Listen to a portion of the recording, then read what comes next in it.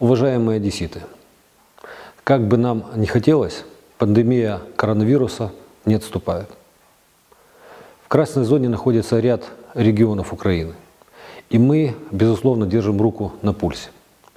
На последнем внеочередном заседании оперативного штаба был принят ряд решений, среди которых перевод на дистанционный режим структурных подразделений Одесского горсовета. Что, кстати, позволит разгрузить общественный транспорт. Призываю представителей частного бизнеса последовать нашему примеру и обеспечить режим дистанционной работы своим сотрудникам. Хочу подчеркнуть, что город сегодня делает все необходимые шаги для полноценного функционирования системы здравоохранения. В случае необходимости также будут организованы дополнительные койко-места.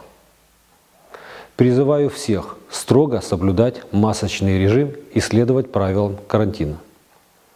Ведь только вместе мы сможем справиться с этой проблемой и сохранить наш город в безопасности.